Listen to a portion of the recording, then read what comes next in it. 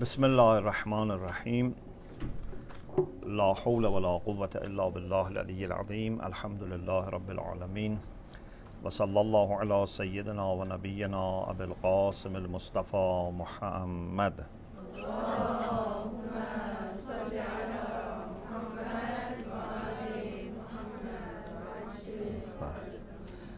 وآله الطيبين الطاهرين لا سيما بقية الله في الأرضين عجل الله تعالی فرجه الشریف. اللهم اخرجنی من ظلمات الوهم و اکرمنی بنور الفهم.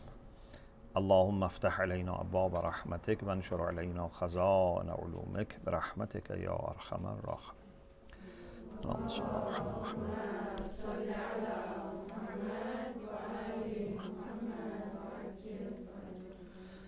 خب خدا رو شکر می‌کنیم که توفیق داریم. مجددا خدمت خواهرها باشیم. جلسه فکر می‌کنم دوازدهمه باشه که در جبه کتاب روابط بین الملل در اسلام حضرت آیت الله جوادی آمولی داریم. همونطور که در ذهن شریفتون هست ایشون تنظیم روابط را از نظر اسلام در سه سطح مطرح می‌کنن. سه سطحش یادتون هست؟ یکی در سطح امت اسلامی. درسته؟ همزیستی مسالمت آمیز بلکه وحدت در سطح امت اسلامی. دوم در سطح ادیان توحیدی موحدان عالم. اولی مربوط به مسلمون هاست دومی مربوط به موحدان عالمه. کل موحدها باید متحد باشن. سوم در سطح انسانی بشری جهانی حتی با غیر موحدها هم ما باید همزیستی داشته باشیم. منتها هر کدومش دلایلش می‌تونه فرق کنه. یعنی هرچی به اون اولی نزدیکتر بشیم دلایل بیشتری داریم. دلایل اینکه مسلمون ها باید با هم دیگه همزیستی داشته باشن مسالمت آمیز بیشتره. بعد ادیان توحیدی بعد کل انسان ها درست شد؟ یعنی اگه ما با یک مثلا مسیحی بخوایم همزیستی داشته باشیم بیشتر از با یک کافره. اگر بخوایم با یه مسلمون داشته باشیم باز بیشتر. خب ما بحث امت اسلامی رو مطرح کردیم الحمدلله. بحث وحدت و همزیستی عادلانه در حوزه ادیان توحیدی رو داشتیم. بحث می‌کردیم که دو جلسه راجع به این بحث کردیم. آیه کلیدی این بحث مربوط به ادیان توحیدی در این کتاب ایشون کدوم آیه است؟ یادتون هست؟ آیه معروفه قل یا اهل الكتاب تعالوا الى کلمت احسن. سواء بیننا و بینکم الا نعبد الا الله ولا نشرک به شیئا ولا یتخذ بعضنا بعضا اربابا من دون الله. فان تولوا فقولوا. اشهدو که وصلش می‌کنیم میشه فقولوا اشهدو به انا مسلمون. سوره آل عمران آیه 64 از این آیه سه محور رو ایشون در میارن که بعد روش بحث می‌کنن. یکی پرستش خدا و نفی شرک ذاتی. درست شد؟ این یه محوره که اینو بحث کردیم. پرستش خدا و نفی شرک ذاتی. شرک ذاتی در مقابل شرک عملی. یعنی یه موقع برای خدا شریک قائل میشن. یعنی میگن اصلا یه خدای دیگه ای وجود داره. یه موقع نمیگن یه خدای دیگه ای وجود داره ولی عملا اطاعت بیچون و چرا می‌کنن از کسی؟ اونم میشه یه نوع شرک. اون که به بعضی از ما بعضی دیگر رو ارباب بگیرن میشه شرک عملی. پس مورد اول پرستش خدا و نفی شرک ذاتی که اینجا دیگه ایشون بحثی دارن راجع به اهمیت توحید اهمیت یکتاپرستی که راجع به این صحبت کردیم. انقدر توحید مهمه که پیامبر اکرم صلی الله علیه و آله و سلم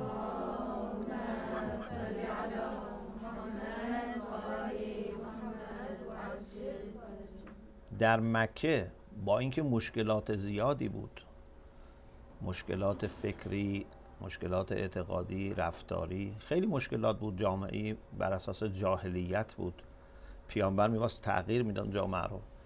ولی میفرمودن قولوا لا اله الا الله تفلحو بگید یعنی با قلبتون. گفتیم کلمه و قول باید از قلب باشه. شما واقعا بگید لا اله الا الله به رستگاری می‌رسید یعنی تمام مشکلات در سایه توحید حل میشه. اگر توحید داشته باشیم مشکلات دیگه حل میشه. اگر نداشته باشیم مشکلات پیدا میشه و موندگار میشه.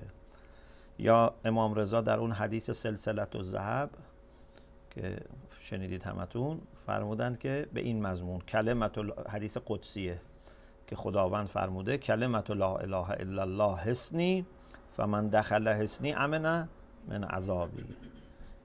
ولی بعد حرکت کردن دوباره توقف کردن فرمودن به شرطها و شروطها. توحید شروطی داره و انا من شروط. حتی امامت هم از لوازم توحیده. بنابراین یک تا پرستی و توحید خیلی بحث مهمی. حالا انشالله این کتاب که تموم شد ما وارد این مقدار بحثای خودمون میشیم روی بحثای مربوط به گفتگوی ادیان و بحثای توحیدی و اینا انشالله بیشتر باز بحث می‌کنیم مطلب دومی که ایشون مطرح می‌کنن که باز از همین آیه مبارکه سوره آل امران در میاد عنوانشو گذاشتن نفی رژیم ارباب و رعیتی درست شد؟ یعنی چی؟ یعنی همین که میفرماد که ولا یتخذ بعضنا بعضا اربابا من دون الله. در واقع این آیه نفی می‌کنه سلطه سیاسی و فرهنگی را. خدا انسانها را آزاد آفریده. امیر المومنین فرمودن لا تکن عبد غیرک قد جعلک الله حرا. اصل اولیه اینه که انسان لازم نباشه از کسی دیگری اطاعت بکنه. چه برسه که بخواد بندگی کسی رو بکنه. فقط خدا. خداوند هم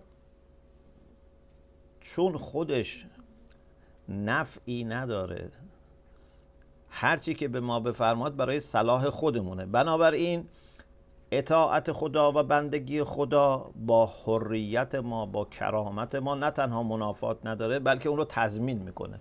لذا انسان وقتی عبد خدا باشه به بالاترین درجه کرامت می‌رسه درست شد؟ توی دعا میگیم چی؟ الهی کفا بی عزن ان اکون لک عبدا درسته؟ اما اگه غیر از خدا از خدا بیایم پایین تر یه انسانی را بخوایم عبودیت بکنیم و اطاعت بیچون و چرا کنیم و هرچی میگه انجام بدیم این دیگه با اون کرامت ما منافات داره چون اونم یک انسان ناقص نیازمندی است. او هم خواسته هایی داره برای خودش. بله اگر اطاعت از رسول خدا باشه اطاعت از ائمه باشه اونها در راستای اطاعت خدا اونا چیزی برای خودشون نمی‌خوان. اونا همش ما رو به سمت خدا هدایت می‌کنن. درسته؟ اینطور نیست که مثلا رسول خدا به ما بگه این کار رو انجام بدید به خاطر خودش. اما اون تواقی تاقوت ها برای خودشون و منافع خودشون انسان ها رو به بندگی می‌کشن. لذا در اون آیه خیلی مهمی که راجع به رسالت داریم اونجا میفرماد که یکی از کارهای این پیغمبر چیه؟ یضع عنهم اسرهم و الاغلال التي کانت علیهم. پیامبر میاد این قل زنجیرها رو باز می‌کنه. پیامبر میاد انسان رو رها و آزاد می‌کنه از یوغ بندگی انسانهای دیگه. پس این لا یتخذ بعضنا بعضا اربابا من دون الله میفرمایند که نفی می‌کنه هر گونه سلطه سیاسی و فرهنگی رو چه بخواد تو یک داخل یه جامعه باشه استبدادی باشه که بخواد دیگران رو به بندگی خودش در بیاره. یا از یک فرهنگ دیگری کشور دیگری قوم دیگری ملت دیگری بخوان ما رو به سلطه بکشن. نفی میشه. سلطه هم ممکنه سلطه سیاسی باشه ممکنه سلطه فرهنگی باشه. گاهی آشکار میگن که آقا شما مستعمره ما هستید. درسته؟ شما باید هرچی ما میگیم. ما اصلا رئیستون رو مشخص می‌کنیم. ما میگیم چیکار باید. گاهی ظریفتره در استعمار نو استعمار کهنه داریم و استعمار جدید. در استعمار جدید ممکنه حاکمی خودشون منصوب نکنن ممکنه نظامیاشون اونجا حضور نداشته باشن. ولی یه جوری روابط رو چیدن تنظیم کردن که عملا اون چیزی که اونا می‌خوان میشه. خود مردم اونجا نمی‌تونن کاری انجام بدن خب برای این میفرماند که دو نکته رو باید در نظر بگیریم. یکی این که افراد جامعه تعبیر ایشون اینه ابعاز یک حقیقتا ابعاز بعض یعنی جز. ما انسان هایی که عضو یک جامعه هستیم چرا نباید بپذیریم سلطه دیگران رو؟ چرا نباید ارباب و رعیتی باشه؟ به خاطر که ماها همه اجزای یک حقیقتیم. و هیچ کسی بر دیگری برتری نداره. اینطور نیست که ما بگیم یه نژادی برتر است بر نژاد دیگر یا یک خانواده‌ای بر خانواده دیگه برتره اونا باید همه گوش بدن به حرف اونها. اینطور نیست. انسان ها همه از کرامت الهی برخوردارن انسان ها همه از آزادی برخوردار هستند بنابراین کسی بر کسی برتری نداره. اگر برتری باشه به امور اکتسابی است مثل تقوا مثل علم. ان اکرمکم عند الله اتقاکم. اینم جالبه. این تقوا هم که باعث کرامت بیشتر میشه در نزد خداست. نه اینکه تو دنیا مثلا که بگه که من چون متقی تر هستم پس من باید از امکانات بیشتری برخوردار بشم. مثلا من باید حقوق به من بیشتر بدم پست به من, به من بدن. این در نزد خدا چون ما که نمی‌دونیم کی متقی تره کی متقی تر نیست. ممکنه کسی در ظاهر متقی به نظر بیاد. خدا می‌دونه واقعا هم این متقیه یا نه و این بین خودش و خداست. اما همین شخص اگر بخواد بره استخدام بشه بخواد نمی‌دونم بره حزب سیاسی تشکیل بده باید مثل دیگران باش رفتار کرد. نمی‌تونه به خاطر تقواش بگه من رو باید شما اطاعت بکنید. دقت کردید؟ اگر آدم واقعا متقی باشه قطعا خودش اصلا چنین کاری نمی‌کنه که بخواد از دیگران تبعیت محض رو طلب بکنه. نکته دوم پس یکی اینکه افراد جامعه به تعبیر ایشون ابعاز یک حقیقتن یعنی اجزا یک حقیقتن و از نظر روابط اجتماعی کسی بر دیگران برتری نداره. دوم اینکه ربوبیت هم از مختصات خداونده. کسی نمی‌تونه بگه من رب شما هستم. مگر مثل فرعون باشه. فرعون می‌گفت چی؟ می‌گفت انا ربکم الاعلا. تازه نمی‌گفت من یک پروردگاری از پروردگارهای شما هستم. می‌گفت من بالاترین رب شما هستم. یعنی از خدا هم بالاتر نعوذ بالله. درست شد؟ انا ربکم الاعلا. حتی این تعبیر هم داره که شاید به نظر من می‌رسه که این از اونم بیشتره. میگه ما علمت لکم من اله غیری.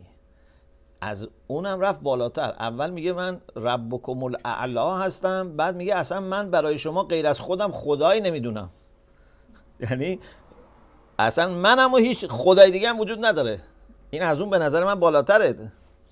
یعنی به همون جام بسنده نکرد بگه بله. افراد اینجوری دیگه. اول میگن که مثلا ما هستیم بهتر از دیگران هستیم. ولی گاهی بعد دیگه دیگران هم می‌خوان چیکار کنن؟ کلا حذف کنن. اصلا هیچ نقشی براشون قائل نباشن. این حد و مرزی نداره که انسان بگه که مثلا من اگه انقدر کنترل بکنم و قدرت داشته باشم بسمه امام خمینی رحمت الله علیه میفرمودن که اللهم صل محمد. میفرمودن اینهایی که دنبال قدرت و مقام هستن حد, حد و مرزی نداره. به قول ما میگیم حد یقفی نداره. مثلا شما بگی آقا شما رئیس این شهر بشی بسه. میگه نه. من باید رئیس این استان بشم. خب رئیس این استان بشی بسه. نه من باید رئیس این کشور کله رئیس این کشور بشی بسه. نه من باید کل این منطقه رو کل منطقه کافیه. نه کل جهان رو من باید کنم. بعد حتی اگه شما کل کره زمین هم بهش بدی میگه نه من بعد اگه کرات و سیارات دیگرم چیکار کنم؟ کنترل. چون حد و مرزی نداره. در واقع می‌دونید که اینها از کجا ناشی میشه؟ خدا در انسان میل به کمال مطلق گذاشته. درسته؟ که خودشه. ما اشتباها اون کمال رو در پول اگر دنبال کنیم هرچی پول داشته باشیم سیر نمیشیم. کمال رو در قدرت سیاسی دنبال کنیم هرچی برسیم سیر نمیشیم. چون در واقع ما دنبال کمال مطلقیم کمال بیپایانیم اشتباها میایم اینجاها سراغش رو می‌گیریم و هیچ وقت هم اشباه نمیشه. تازه هرچی میریم جلوتر اون آتش آدم بیشتر میشه. چون شما کسی اگه به جای آب درست حسابی بهش آب شور بدی هرچی هم بخوره تازه تشنگیش چی میشه؟ بیشتر میشه. خب یه آیه بسیار کلیدی داریم که روی ایشون روی این آیه ایشون خیلی بحث می‌کنن.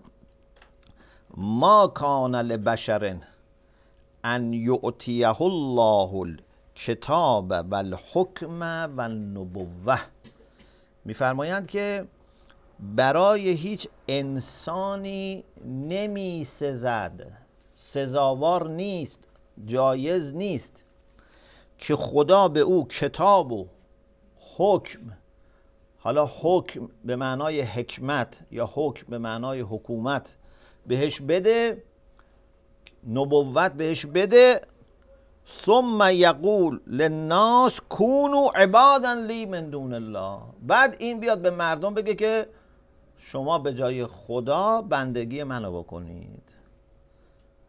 چنین چیزی نمیشه.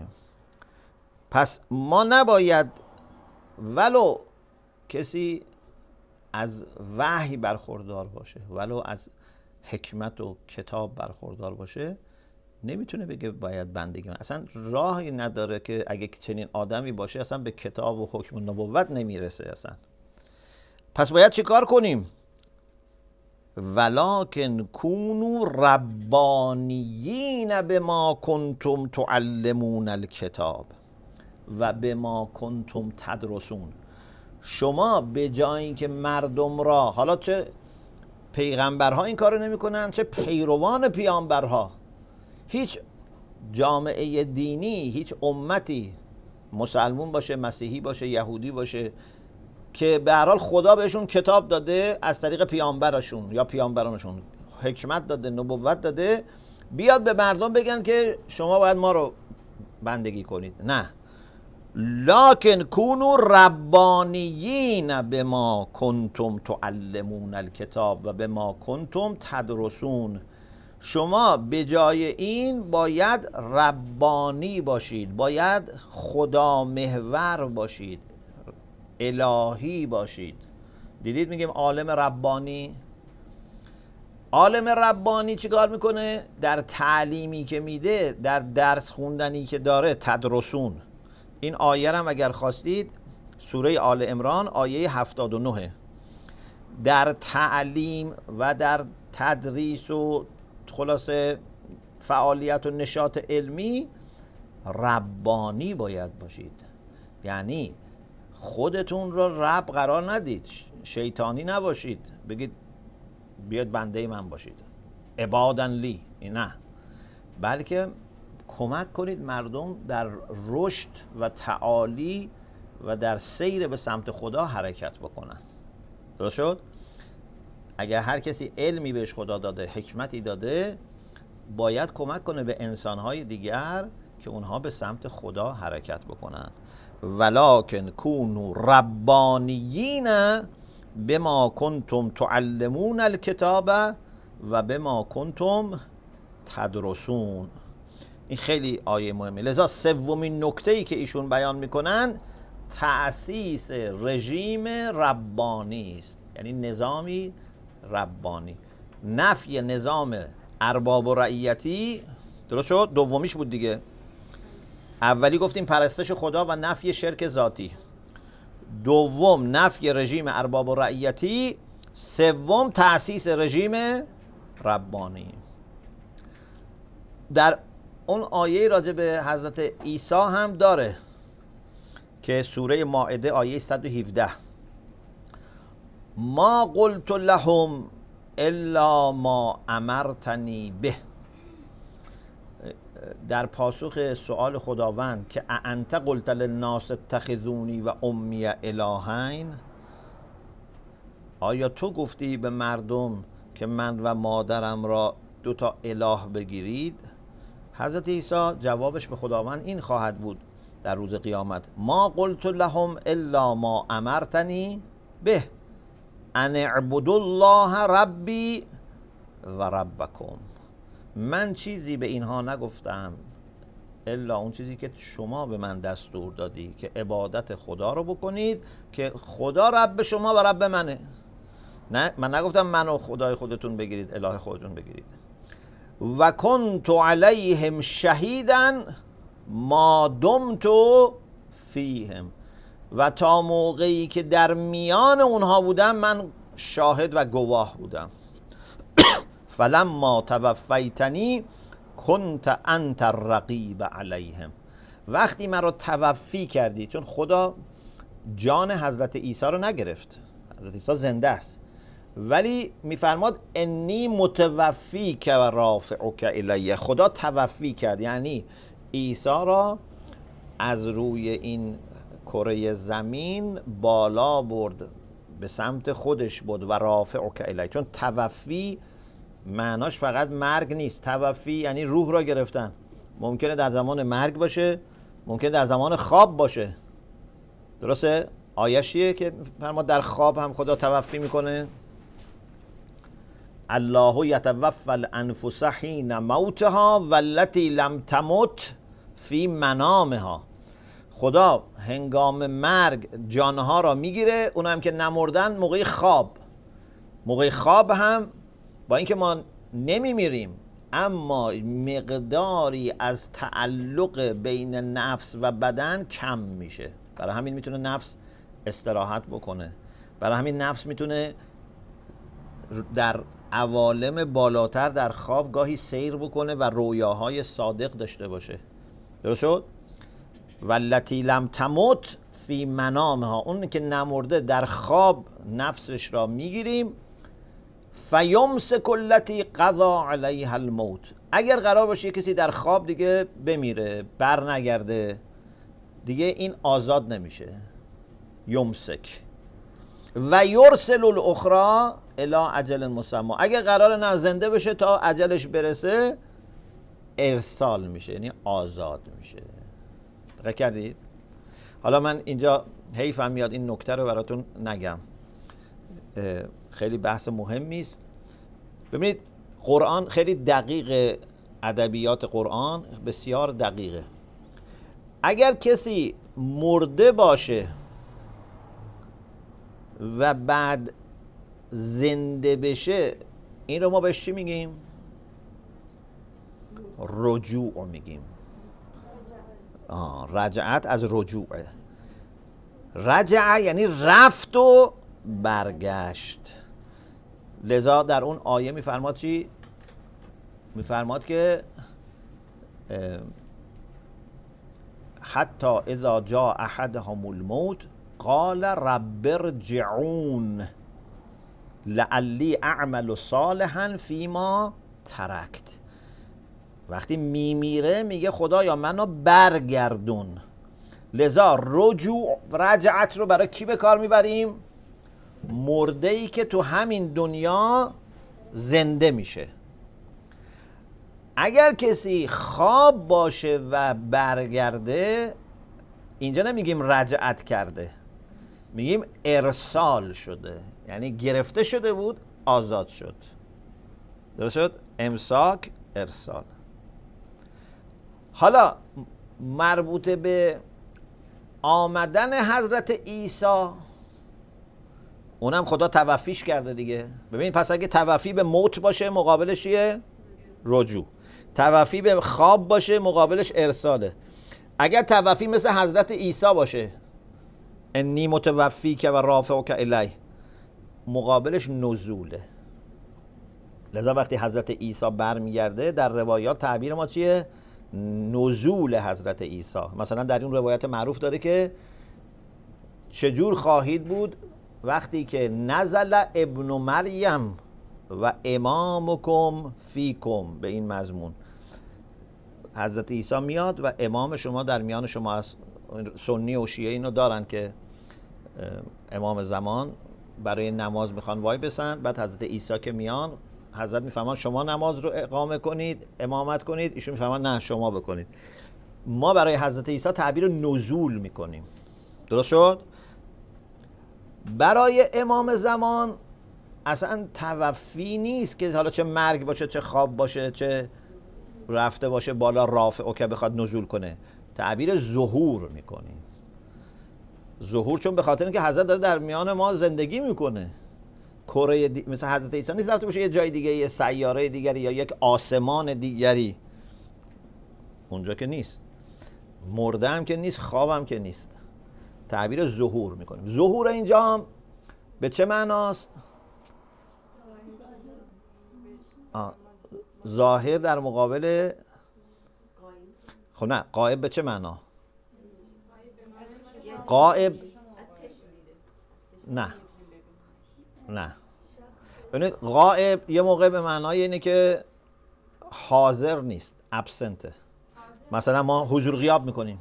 میگیم امروز کی غایبه یعنی حاضر نیست. اما امام زمان حاضر هست. پس غیب به معنای ابسنس یعنی نبودن و حاضر نبودن نیست. یا مثل مثلا بگیم فرشته ها جزو عالم غیبن چون ما نمی‌تونیم ببینیمشون. با حس خودمون نمی‌تونیم فرشته ها رو درک کنیم. درسته؟ مگر اینکه یه فرشته تمثل بکنه. اگر بیاد یه شکل جسمانی بگیره به شکل یک انسانی یا یک پرنده چیزی ممکنه فرشته ممکنه شکلهای مختلفی بگیره. تمثل الله بشرا سویا اون وقت می‌تونیم ببینیم. و الا ما فرشته رو نمی‌تونیم ببینیم. در مورد امام زمان اینطور نیست که مثل فرشته نامرئی باشه حضرت. بلکه یعنی هویتش مشخص نیست. یعنی شما ممکنه حضرت رو ببینی. درست؟ مثل دیگران که می‌بینی. حتی ممکنه مثلا یه موقعی شما از کنار حضرت مثلا رد بشی بدنت هم به بدن حضرت بخوره در موقع تواف مثلا. اما نمی‌دانند کیه ایشون. هویت مشخص نیست. پس اینطور نیست که بگیم حضرت نامرئیه. بله ممکنه خدا یه موقعی بخواد یک بنده ای از بندگان خودش را یه کاری کنه که افراد بد نبینن. اون ممکنه. اما اینطور نیست که همیشه حضرت نامرئی باشه. حضرت مثل ما بدن داره جسم داره غذا می‌خوره تنفس می‌کنه آب می‌خوره درست؟ حتی ممکنه مریض بشه ممکنه سرما بخوره. همین خصوصیات رو داره حتی در روایت داره که پاش رو روی فرش های شما می‌گذاره. ممکنه شما در حج در عرفات یا قومی مثلا حضرت بره توی همین چادرها سر بزنه. چیزی که هست اینه که حضرت یراهم و یعرفهم اما مردم یرونه ولا یعرفونه. بله می‌بینن ولی نمی‌شناسن. لذا وقتی که حضرت ظهور کنن بعضی میگن که ما ایشون رو دیده بودیم قبلا. و نمی‌دونستیم کیه. دقت کردید؟ پس بنابراین فرق است بین توفی از نوع مرگ که مقابلش میشه رجوع. توفی از نوع خواب که میشه ارسال توفی مثل حضرت عیسی که میشه نزول. و امام زمان که اصلا توفی نیست. امام زمان فقط خداوند متعال. ایشون رو از معرفت مردم چیکار کرده؟ از شناسایی و تعیین هویت مردم حفظ کرده. نمی‌تونن بفهمن کیه. درست خیلی به ندرت ممکنه یک کسی صلاح باشه که بفهمه. تازه اونایی هم که حضرت رو دیدن خیلی هاشون زمانی که حضرت دیدن متوجه نشدن. بعدش متوجه شدن. بعضی هم شاید اصلا هیچ وقت متوجه نشدن. بعد از روز قیامت می‌فهمند که حضرت رو دیدن. خب پس این هم یک نکته گفتم حیفه. یه نکته دیگه هم حیفه که نگم راجب این آیه حضرت عیسی. کنت علیهم شهیدن ما دمت فیهم اینم یه بحث خیلی مهمیه تو بحث امامت اونجا مطرح می‌کنیم. می‌دونید از نظر قرآن کریم خداوند متعال با هر امتی یک شاهد یا گواهی چیه؟ گذاشته. درسته؟ خیلی این در قرآن روش تکیه شده. و روز قیامت این گواه رو میاره. لننزعن من کل امت شهیدا. روز قیامت از هر امتی خداوند یک گواهی را میاره. و جعنا بک علی هؤلاء شهیدا. خدا به پیغمبر فرمود تو به عنوان گواه میاره. حالا این شهید انسان فرشته نیست خود خدا نیست. ما منظورم اینجا یک انسانه. ولی خود خدا که شاهده. اینجا حضرت عیسی میگه که وقتی فلما توفیتنی کنت انت رقیب علیهم و انت علی کل شیء شهید. خدا بر همه چیز شاهده. فرشته هایی هستن اعمال ما رو شاهدن. درسته؟ اما این که میفرماد که لننزعن من کل امتن از هر امتی یه شهید میاریم یعنی یه انسانی. که این انسان گواه هست روز قیامت میگه که کیها از حق تبعیت کردن کیا تبعیت نکردن. خب پیامبر هم میفرماد جعنا بک علی هؤلاء شهیدا. حالا اینجا ما یک بحثی داریم اختلاف نظری داریم در میان مسلمون ها مفسران مسلمان. اکثر مفسرهای غیر شیعه اکثرشو میگم چون مثلا فخر رازی باز خودش تعابیری داره شبیه شیعه هاست. اکثرا میگن که پیامبر شاهد است تا آخر دنیا. هاولا رو میگن یعنی امت پیامبر و کفار زمان خودش چون آدمای خوب و بد هر دو رو اون میاد شهادت میده. و این میگن تا آخره ولی ما میگیم نه. ما میگیم درسته به یک معنای عامی پیامبر شاهده. ولی این شاهدی که قرآن داره به این معنای اصطلاحی میگه باید در میان مردم زندگی کنه. درست شد؟ یعنی در هر نسلی باید یک شاهدی باشه. اولا یعنی اونایی که در زمان پیامبر بودن. بعد از پیامبر یک شاهد دیگه باید باشه. او که از این دنیا رفت باز یه شاهد دیگه باشه. همیشه باید یک شاهدی که همون حجت خداست همراه باشه. خب؟ دو تا شاهد قرآنی هم براش می‌تونیم ذکر کنیم. حداقل. اون دو تا شاهد قرآنی چیه؟ یک همین آیه است. ببینید حضرت عیسی با اینکه نمرده زنده است. اما چون در میان مردم زندگی نمی‌کنه میفرما چی? کنت علیهم شهیدن ما دمت فیهم. تا موقعی که در میانشون بودم من گواه بودم. دیگه اگه تغییراتی اتفاق افتاده بعد از منه. با اینکه ممکنه علم داشته باشه ولی شاهد به اون معنای فنی نیست. ما دمت فیهم. این یک آیه. یه آیه دیگه هم که شاهد اینه که میفرماد که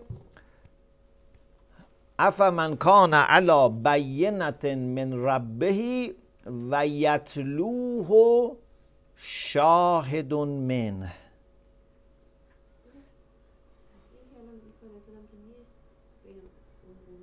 آره. حجت بعدی خدا.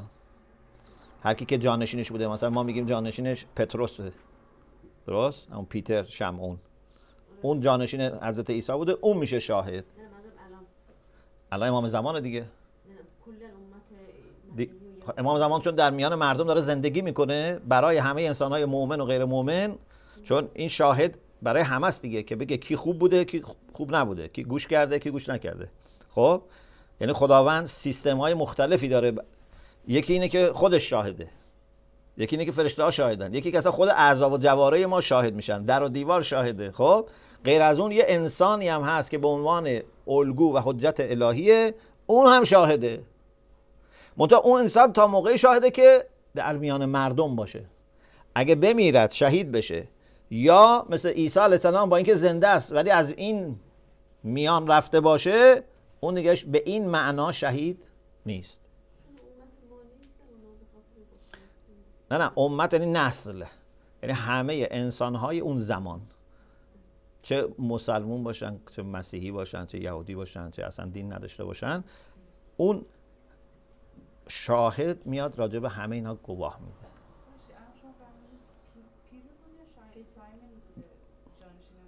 همون دیگه شمعون. خب پیتر هم همونه دیگه چون پیتر میگن که چیز کرده خودش شکایت کرده از عیسی یعنی مسیحیان میگن که باعث شده که کروسیفای بشه از عیسی نه نه نه. پیتر همون خوبه. پیتر همینی که الان هم همین کلیسای سنت پیتر از در واقع قبر پیتر اون پایینه دیگه. میری پایین اصلا اونجا هست می‌بینید که مثلا طبق بعضی از نقله ها حضرت نرگس هم مادر امام زمان به پیتر برمیگرده. بله.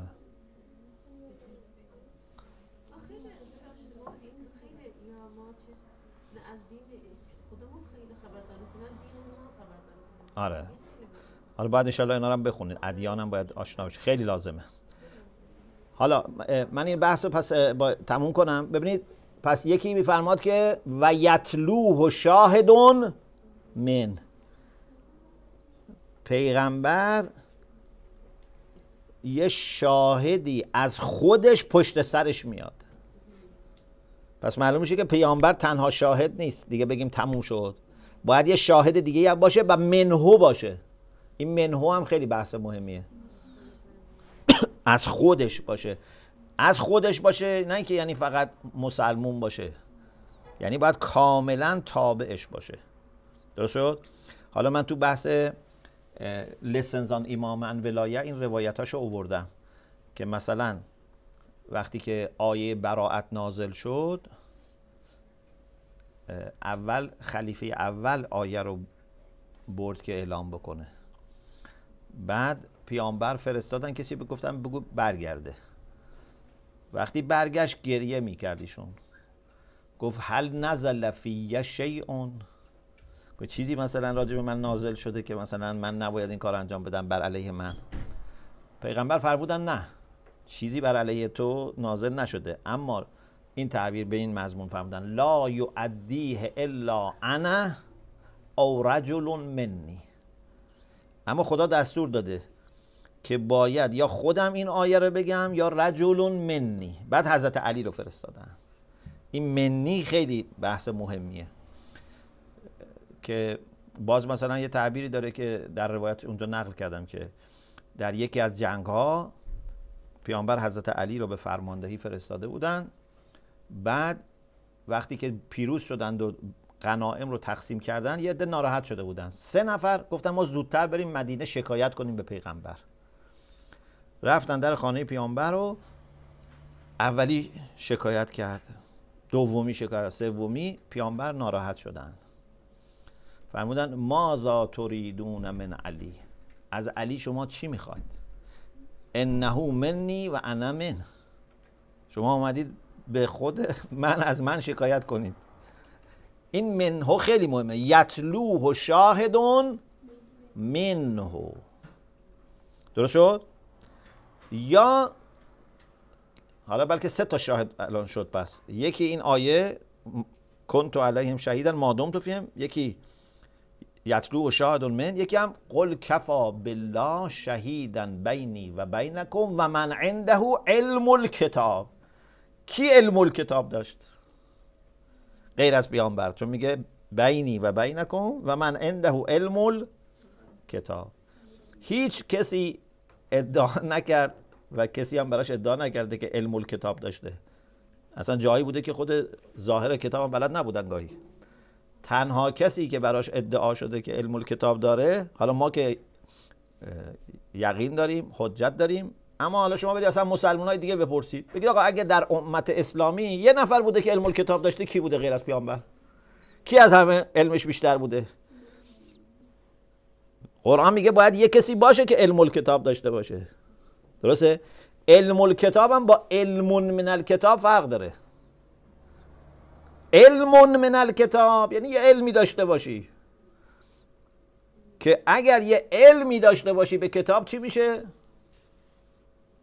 قدرت های خاصی پیدا می‌کنی. قضیه حضرت سلیمان هست دیگه که گفت کی میاد این تخت بلغیس رو میاره. اول قال افریتون من الجن انا آتی که بهی قبل ان تقوم من مکانک. گفت قبل از اینکه تو بلند شی یا این جلسه تمام شه پاشید برید من میارم.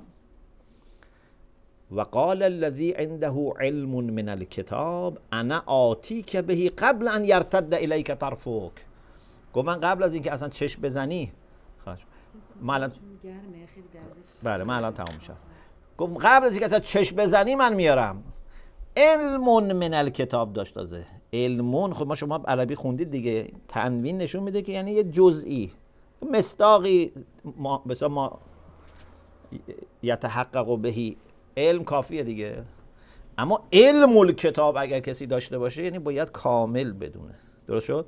خب پس قرآن میگه یه شاهدی باید باشه که غیر از پیامبرم باشه و علم کتاب داشته باشه. یا منهو باشه و بایدم در میون اونها زندگی کنه. ما دم تو فیه. خب اینم یه نکته ای که حیفم اومد نگم. بله. حضرت حضرت خضر هم هستن در کره زمین در میان ما هستن ولی اون حجت خدا معصوم هست پیامبر هست ولی حجت این زمان نیست. گاهی ممکنه در یک زمانی چند تا معصوم زندگی کنن ولی یک نفر این مسئولیت حجت بودن رو داره. مثلا زمان پیامبر امیرالمومنین بود حضرت فاطمه بود ولی اونا حجت خدا نبودن. امیرالمومنین وقتی بود امام حسن بود امام حسین بود ولی اونا حجت خدا نبود یا امام حسن بود امام حسین حجت نبود. در هر زمانی فقط یک نفر می‌تونه اون مسئولیت رو داشته باشه. اما به لحاظ معنوی اسمت حتی می‌تونه چند نفر باشن. گاهی ما داشتیم پیغمبران زیادی در یک زمان زندگی می‌کردن. همشون هم معصوم بودن. اما یک نفر می‌تونه حجت باشه. خب انشاءالله ادامه بحث رو می‌ذاریم برای جلسه بعد. الحمدلله رب العالمین. سلام